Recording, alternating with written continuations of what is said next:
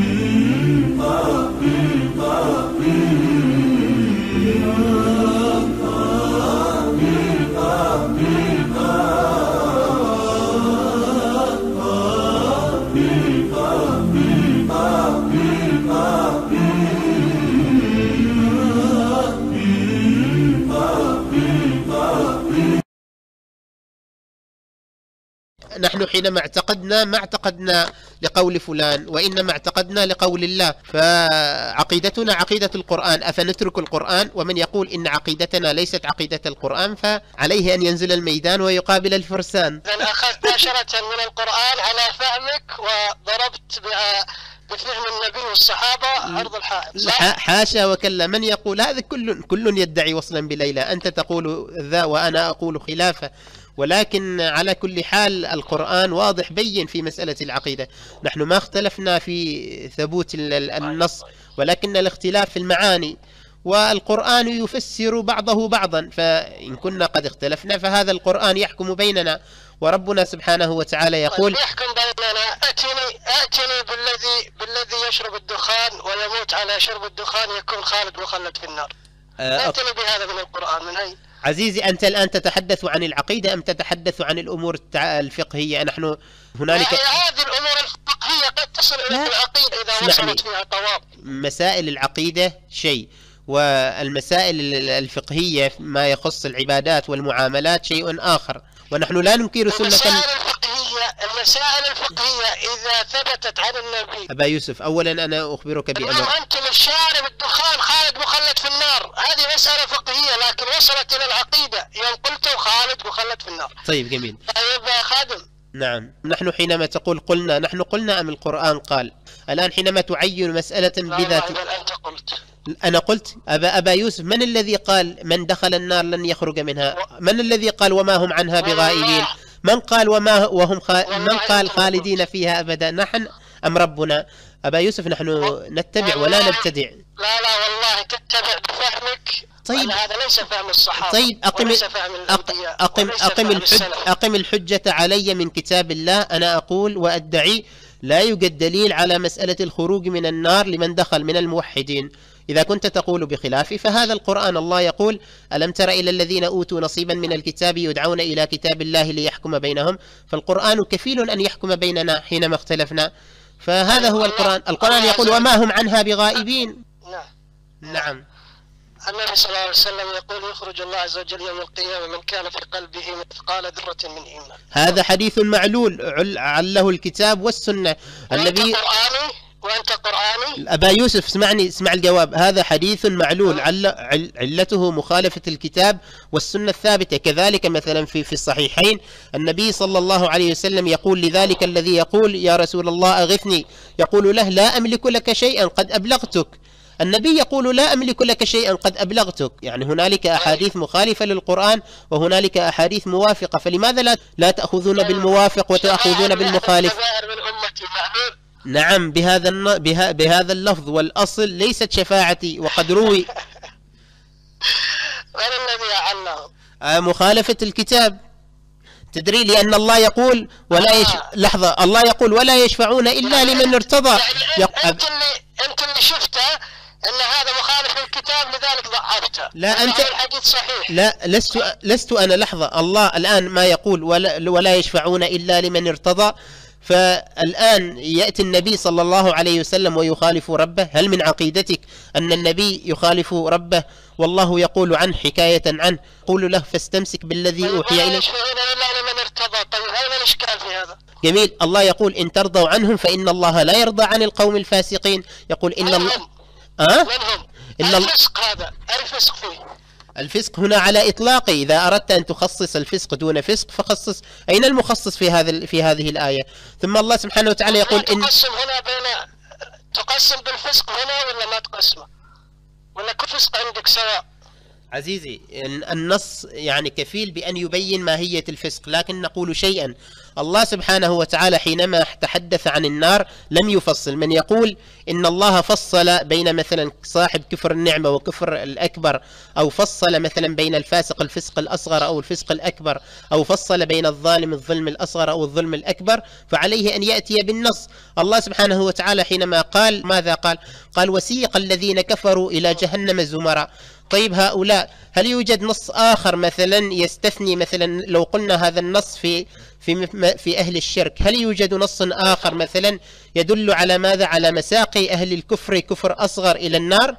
فليأتي به. بمعنى يعني بمعنى هل هنالك نص يفرق بين الداخلين إلى نار جهنم بين أصحاب الكفر الأصغر من الموحدين الذين ماتوا ولم يتوبوا وبين أصحاب الكفر الأكبر؟ هل يوجد نص؟ فلتأتي به. النصوص كلها تجمع بينهم. طيب قال تعالى في كتابه فمن فرض فيهن الحج فلا رفث ولا فسوق ولا جدال في الحج. الفسوق هنا يخرج صاحبه من دائرة الإسلام ولا فسوق دون الكفر؟ أبا يوسف أنا ما أختلف معك آه، حينما تقول إن الفسوق كيف ما تختلف معي أنت تقول لا يوجد لا يوجد فسوق أكبر وأصغر الفسوق لحظة. والكفر درجة واحدة. لحظة لو سمحت ما قلت هذا أنا. أقول لا أختلف معك حينما تقول قلت يا أخي. اسمعني اسمعني لو سمحت. أنا لا أختلف معك حينما تقول لي إن الكفر كفران إن الفسق فسقان إن الظلم ظلمان أنا لا أختلف معك. فهذا هو مقرر القرآن. لكن أختلف معك حينما تقول لي إن الفاسق يذهب إلى الجنة ولو كان صاحب فسق أصغر. أختلف معك حينما تقول لي إن الكافر يذهب إلى الجنة وهو صاحب ماذا؟ الكفر الأصغر. يعني الجنة يعني الجنة الذي يدخل إليها فقط الذين ليس لديهم ذنوب نهائيا صح؟ الذين يدخلون الجنة إنما هم المتقون. قال الله تلك الجنة التي نورث من عبادنا من كانت أي لا يموت على ذنب. لا نعم يتخلص من ذنوبه. نعم يذهب من هذه الحياة الدنيا وقد ماذا؟ وقد تطهر من جميع ذنوبه. ذلك هو الذي يدخل الجنة. استحلفك بالله يا خادم. في إنسان بالبشر في العالم كله الآن يموت وهو خالي من جميع الذنوب؟ نعم نعم نعم التائبون نعم. نعم. لما لا؟ تدري لماذا؟ لأن الله سبحانه وتعالى ينادي صباح مساء. قل يا عبادي الذين أسرفوا على أنفسهم لا تقنطوا من رحمة الله. إن الله يغفر الذنوب جميعا. يا أيها الذين آمنوا توبوا إلى الله توبة نصوحا. هل هذه النصوص عبثية حينما ينادي الرب المذنب لأن يتوب قبل أن يأتيه الموت؟ يعني ما معنى هذا الكلام؟ ثم الله سبحانه وتعالى يقول نحن ما نأخذها من جانب العاطفة. يقول وليست الت... طيب، لو, لو سمحت لو سمحت لو سمحت. اسمع هذه الآية لو سمحت. لحظة اسمع هذه الآية لو سمحت.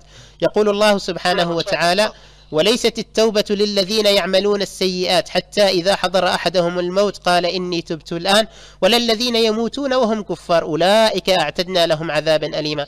الآن هو قسم وذكر بالتفصيل الذين يعملون السيئات ثم ذكر الكفار. معي هنا هنا هنا تمييز هنا تف يعني هنا فصل بين الذين يعملون السيئات وبين الكفار. ولكن بعد ذلك في ختام الآية جمع بينهما في الوعيد. أليس كذلك؟ فكيف نفرق من جمع الله طيب. سبحانه وتعالى في وعيده؟ تفضل. خادم خادم استحلفك بالله. هل ترى أن من العدل الإلهي؟ هل ترى أن من العدل الإلهي أن الإنسان يموت على التوحيد وعلى العبادة وعلى الصلوات الخمس والحج ويخلد بالنار من أجل سيجارة يشربها في الدنيا ومات وهو على ذلك. هل ترى أن هذا من العدل؟ جميل جدا. طيب أولا هذا سوء ظن بالله. لماذا؟ لأنه لا يوجد أحد مثلا عابد قائم صائم معي ويأتي إلى زكارة وبعد ذلك يقطع الرب عليه. بمعنى لماذا الله سبحانه وتعالى شرع التوبة؟ هل الله سبحانه وتعالى يضحك على عباده حينما يقول يا أيها الذين آمنوا توبوا إلى الله توبة نصوحا الله سبحانه وتعالى يمهل ويهم يمهل ويمهل ويمهل. لذلك شرع باب التوبة. لا يمكن أن نسيء الظن بالله ونقول إن الله شرع باب التوبة. بعد ذلك يأتي إلى بعض عباده بمجرد أنه عصى يقطع عليه. إذا لماذا شرع باب التوبة؟ شرع من أجل أن يحرمهم. لذلك اسمعني. الله سبحانه وتعالى يعطي هذا الإنسان كم نكتة أسمعك سولف اسمع الإنسان حينما يذنب فتنكت في قلبه نكتة وهي تتكاثر انظر تتكاثر تتكاثر فالله سبحانه وتعالى يمهل. ولا يمكن أن نسيء الظن بالله سبحانه ونقول إن الله يقطع الطريق على على العابد القائم الصائم من أول ذنب ويقطع عليه. هذا سوء ظن بالله لأنه يتصادم مع ماذا؟ مع حكمة الله سبحانه وتعالى ومع تشريعه للتوبة. لذلك نحن نقول إن ذلك الذي مات مات على على ذنب مات مسرا وأن الله سبحانه وتعالى أرسل إليه الرسل أرسل إليه النذر ولكنه كان يتعامى كان يتصامم. وأصر وأصر وأصر وأصر وأصر حتى أن الله سبحانه وتعالى ختم بعد ذلك عليه بما أصر. هكذا هذا هو العدل الإلهي. أما أنه يقطع عليه من أول ذنب فهذا سوء ظن بالله وهذا يتقاطع ويتنافى مع مشروعية التوبة التي نادى الله الله سبحانه وتعالى وشرعها لعباده. هكذا نفهم النصوص طيب. القرآنية وهي واضحة. تفضل. خادم. نعم. أنا أنا مو في أنا مو أنا الآن في بلد أوروبي وحان عندي وقت الصلاة صلاة العشاء. آه بس آه تكمل مع أخونا بنيف موجود حي هلا مع اي أحد أنا عقيدتي واحدة عقيدتي من القرآن لذلك ارجع إن شاء الله. أبا يوسف أنا لا أتغير ولا أتبدل. أو تدعوني ان أترك القرآن؟ أحد أحد. خادم لحظة شوية. أبو ليث آه، قدم اخونا ربيع ثم أخونا أسد الهاشمي ثم استلم الله يبارك فيك.